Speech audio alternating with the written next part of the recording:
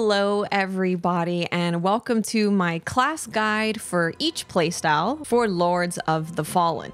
In this video, it's just going to be super simple. We're just going to be taking a look at the beginning classes and based on the playstyle that you are trying to end up doing or the kind of playstyle that you generally enjoy, I'm going to be recommending a starting class for you. Now, of course, as usual with any kind of Souls game that starts out like this, you do not have to stick to any of these stats that you start with. You can do whatever you want. But what I'm going to recommend to you is just going to get you on your journey a little bit faster and a little bit smoother. So I'm going to start out with talking about the Paladin playstyle. This is a popular playstyle that a lot of people have, and you have multiple options to get there. The first option is going to be the Hallowed Knight that comes with 12 strength and 9 radiance. It's not a ton of radiance, but they do have a decent amount of vitality, which means your health is going to be a bit higher. So when you're looking to be a Paladin playstyle, you're wanting to take note of your strength and you're also wanting to take note of your radiance. If you have a plan to go agility and radiance, I do have a recommendation for that as well. But specifically for what you would think of being a paladin playstyle would be strength and radiance. Hollow Knight is a good option. The other option is the Orian Preacher. Now, this is going to start you with a lot more radiance and 10 strength. So, this is set up super well to go the paladin route. The reason that I would choose this over the Hallowed Knight is if you want to get using magic right away. You start with a catalyst, which allows you to cast spells. You start with a spell, so you do have a ranged option right off the bat. Now, you will find ranged options throughout just playing the game, but starting with the Orian Preacher does begin you with having that ranged option right away. The other option that you could do is the Deluxe Dark Crusader class. Now, I don't have this, so this is just a picture that I'm referencing for you guys. This starts with 11 Radiance and 12 Strength. So that's also set up really well to go into a Paladin playstyle. Plus, you start with more Vitality. You start with 14, which is quite a lot of health to begin the game with. But if you do not have the Deluxe Edition, personally, I would say that the Orian Preacher, I think, is set up to do it the best and it's going to make the beginning area a little less frustrating because you have the ranged option. But if you do want to go with the Hollow Knight and have a more sturdy shield, this shield is going to be blocking a bit more damage. So when you guard, you're going to take less of that wither gray health damage. So if that is something that you want to prioritize, I would go with the shield. But yeah, my personal overall pick would be Orian Preacher for a paladin starting class. Now, if you are wanting to go with an agility and radiance class, honestly, I would say Orian Preacher too. There's only two points between their strength and agility, and they have a lot of radiance. So if you want to be a radiant healing, lightning thunder kind of playstyle, but you want to be using the lighter weapons, I would also recommend Orian Preacher. Now we have the classic Unga Bunga. You want to wield the big weapons, you want to do the big meaty blows, you're going to want to pick the Warwolf.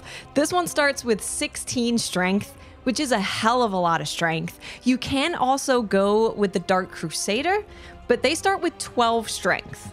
But again, they do have 14 vitality. So if you're unsure as to whether you're going to be getting hit a lot, you could just go with the Dark Crusader if you own the deluxe edition because you're going to have more health to start with. But if you're going all in and you want that strength right away, the Warwolf is going to be the one for you. And it has the bonus of starting with throwing axes. So again, this game has a lot of ranged enemies. You're going to find ranged options as you play through the game, but if you start with the Warwolf, you are going to have a ranged option immediately. Now, if you want to be the Inferno magic, you really only have one choice, and that is the Pyric Cultist, which starts with 18 Inferno. A lot of Inferno, and they can either go Strength or Agility. They're basically even, so you can choose whichever path you want to go with that. I will say that if you are wanting to start with the Pyric Cultist, the beginning area is going to be a little bit tough because not only does your magic do inferno damage and the beginning area that you're in, they're all inferno dudes, but your main weapon that you start with also has inferno damage. So when I was playing the Pyric Cultist, what I did is I switched to a weapon that just didn't have any inferno on it until I got to an area that wasn't full of inferno people. So you can do that. It's going to make your life a lot easier. And then you just have to chip away at enemies with your fireball. It's just going to take a few extra hits than if you were using a radiant spell. Now let's talk about our dexterity agility builds. You have two options to start with. The first one is going to be the Black Feather Ranger. This is probably the best overall class. It's probably the safest because you do start with a shield compared to the Exiled Stalker, which we'll talk about in a moment. And you do start with bow and arrows. The axe also does a lot of damage. The Black Feather Ranger is also perfectly set up to be a ranged class. So if being a ranged player does entice you at all, I would definitely recommend the Black Feather Ranger because ranged attacks are actually good in this game. They do solid damage. The way that the ammo system works enables you to really, really play into being a ranged player. So if that does entice you, go with the Black Feather Ranger over something like the Exiled Stalker. So if dex weapons tend to be your thing, but you want to have a shield for parrying or for guarding for a little bit more extra protection and you want to start with a bow, definitely go with the Black Feather Ranger. Now the reason that you would go for the Exiled Stalker instead, in my opinion, is one, because you start with more agility. You're starting with 16 compared to 13. So this is kind of like the Warwolf, right? The Warwolf is all in on strength, whereas the Dark Crusader has a lot of strength, but also has some other stats. The Exiled Stalker is like that. They're all in on agility and have very few other stats. But if you are a fan of parrying, I highly recommend the Exiled Stalker because when speaking to a developer from Hexworks, they said that Double Daggers has the largest parry window, followed by a smaller shield, and then followed by a larger shield. So if you are wanting to go through this game parrying a lot, starting with double daggers is really nice because that parry window is extremely forgiving. Now with the Black Feather Ranger, you can also of course parry still and it's not going to be that difficult. You're using a small shield. But if the assassin rogue playstyle really speaks to you, I highly recommend the Exiled Stalker. You start with poison salts, so you're kind of already going in on those status effects. So that would be my recommendation if you want to parry and you want to be a rogue. And if you want to maybe stand back, be a ranged class, have a little bit more protection with your shield, but still build into agility, I would recommend the Black Feather Ranger. Both of these start with a ranged option, Black Feather Ranger has a bow, Exiled Stalker has a throwing knife. So neither of these are really going to struggle when it comes to picking off enemies at range. Just keep in mind, if you want to parry, I'm telling you, man, the double daggers, just trust me, try the double daggers. now, the Partisan and the Mournstead Infantry are what I would say are the best overall kind of classes if you're not totally sure if you want to go strength or you want to go agility or maybe you just want to have a slightly higher starting stat so that if you do happen to pick up a strength weapon you can use that or if you pick up an agility weapon you can use that. You can go with the partisan or the Mournstead infantry. Now the partisan starts with more strength but again 13 strength compared to 12 agility there's really not much difference there. You do start with a crossbow and you have a larger shield so your guarding is going to be a little bit better, and your ranged option is going to be great because the crossbow is super good. The Mournstead infantry starts more on the agility side with 12 strength and 14 agility, so it's a little bit better set up to go into agility. And this one you start with a smaller shield, good for parrying, and you start with a javelin that you can throw. Now, the throwing javelin is also pretty good, but the crossbow is definitely better when it comes to range. So if you are someone who wants to kind of spec into a bunch of different things, try out all the weapons at your disposal, or you're just not really sure if you want to go all the way into strength or agility, these are going to be really good for you. And I would just say the difference is that if you're with the partisan, parrying is going to be a little bit slower because that shield is bigger. If you're with the infantry, parrying is going to be a little bit easier because the shield is smaller. And then the partisan is set up for strength a little bit better, and the Mournstead infantry is set up for agility a little bit better, but they are quite similar. Now, the Condemned. Dude, the Condemned? This armor, you can find all of this armor and all of these weapons in the game as you play through.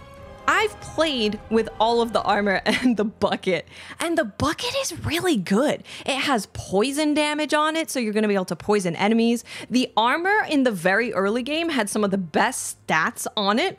I don't it says pick your own risk. And yes, you do, of course, start with less stats. You're starting with nine in everything instead of hitting these numbers like 18, 11, 12, 14.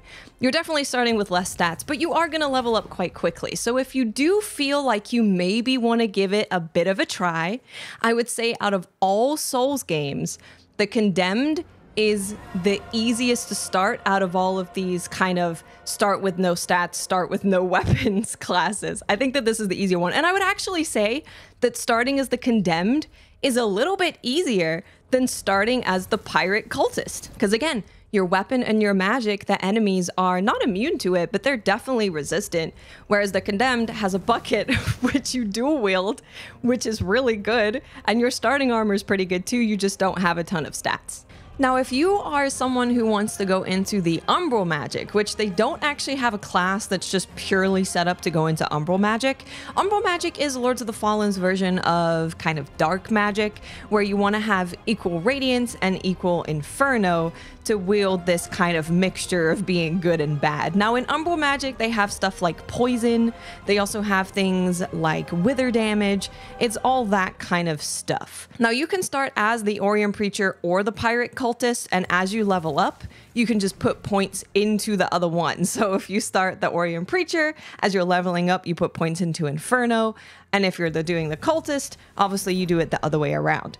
Now, I did say that starting as the cultist is a little bit more difficult. So, if you want to have an easier time, I would recommend starting as the preacher and then just start leveling your inferno.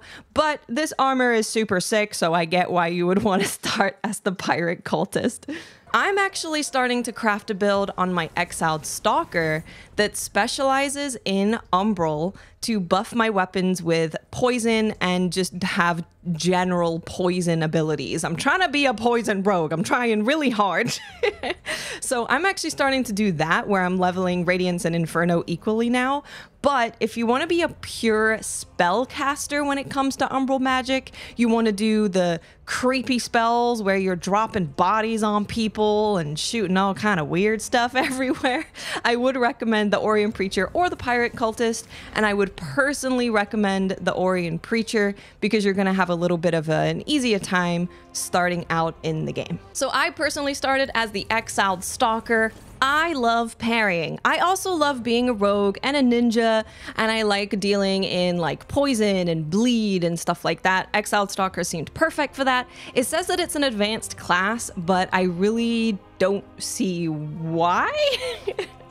I know that you're obviously starting with more points in agility than something like vitality than some of the other classes, but with how generous the parry window is with double daggers, and the ability to have a ranged option, I think this class is fantastic. So there it is. Let me know in the comments section which class you ended up choosing for your playstyle. Then we can all kind of go to the comments and see if there's a playstyle that one of you is playing that I didn't think about, as I'm sure there is because there's billions. I just mentioned the more popular ones.